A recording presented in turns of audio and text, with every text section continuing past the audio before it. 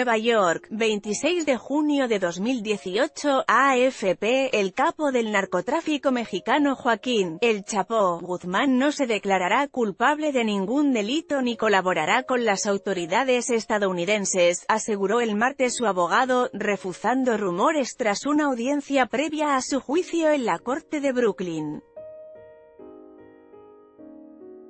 Los abogados de El Chapo, encarcelado desde hace un año y medio en Nueva York, buscan que la fiscalía entregue evidencia en su poder que mostraría que el acusado de 17 delitos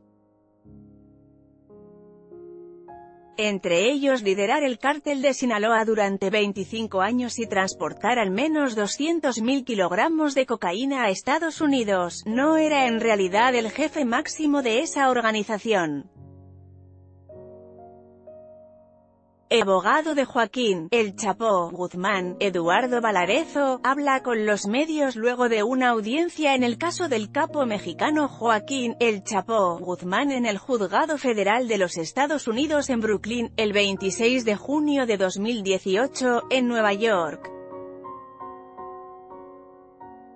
AFP en su opinión, esa evidencia exculpa el Chapo del mayor cargo en su contra antes del juicio que debe comenzar el 5 de septiembre. Eso es fundamental para la defensa de él, sin eso no lo vamos a poder defender, dijo Valarezo a periodistas tras la audiencia. Desmintiendo rumores que corren sobre una posible colaboración de El Chapo con el gobierno estadounidense, Valarezo dijo a la prensa que Guzmán no se va a declarar culpable y no va a colaborar con las autoridades. La fiscal Andrea Goldbar aseguró por su lado que no importa si El Chapo era un jefe de mediano rango o un jefe máximo del cártel. Durante la audiencia, el Chapo, de 61 años prácticamente no miró al juez Brian Cogan.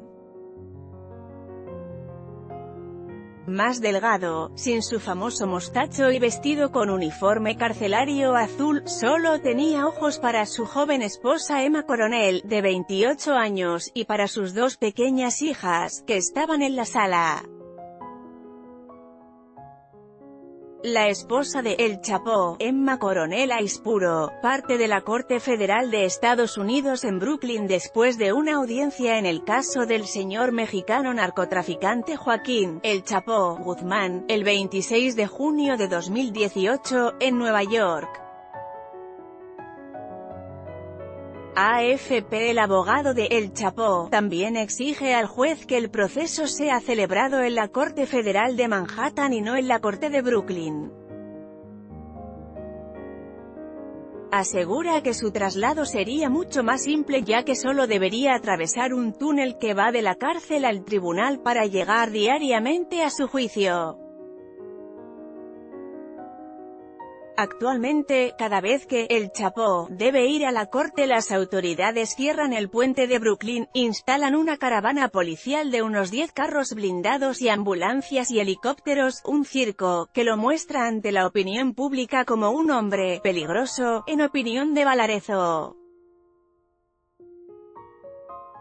Una caravana de automóviles transporta al señor de la droga mexicano Joaquín, el Chapo, Guzmán sobre el puente de Brooklyn de regreso a Manhattan después de asistir a una audiencia en el Tribunal Federal de los E.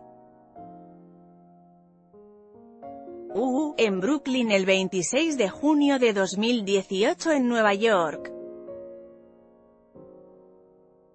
AFP El juez Kogan dijo que aún precisa tiempo para estudiar estas mociones y fijó la próxima audiencia para el 14 de agosto.